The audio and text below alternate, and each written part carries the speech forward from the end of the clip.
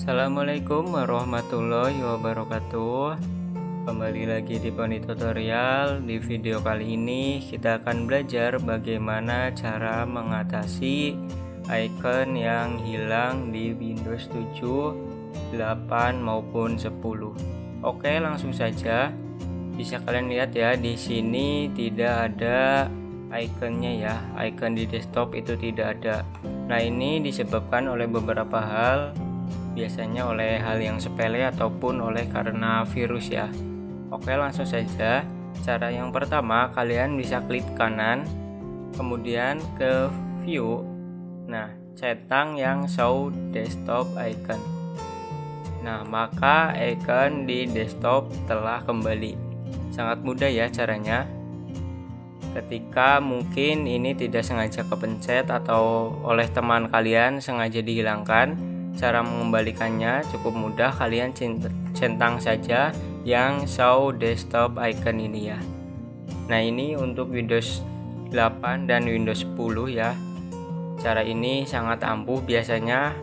Karena ini tidak dicentang maka ikonnya tidak muncul. Ini yang sering terjadi.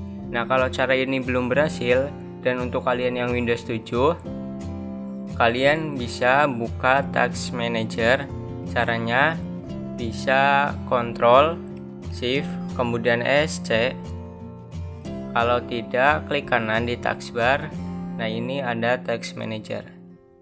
Kalau tampilannya begini pilih yang more details ini ya. Klik saja yang more details kemudian ke file. Ini ya run new task klik saja. Lalu ketikkan explorer x. Nah ini untuk yang windows 7 ya. Coba kita hilangkan.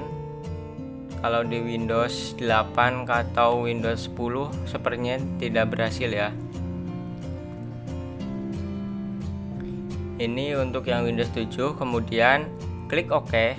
Tulisannya explorer titik x ya e x e. Kita oke. Okay. nah ini malah yang kebuka file explorer ya. Nah untuk Windows 7 biasanya cara ini berhasil.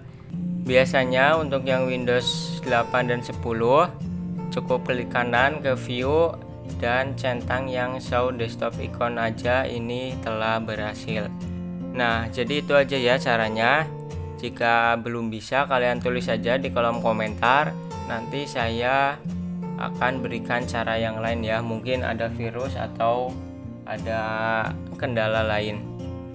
Oke itu aja ya. Jika kalian masih ada kendala Ataupun masih bingung silahkan tuliskan di kolom komentar. Jika kalian suka dengan video ini jangan lupa like and subscribe nya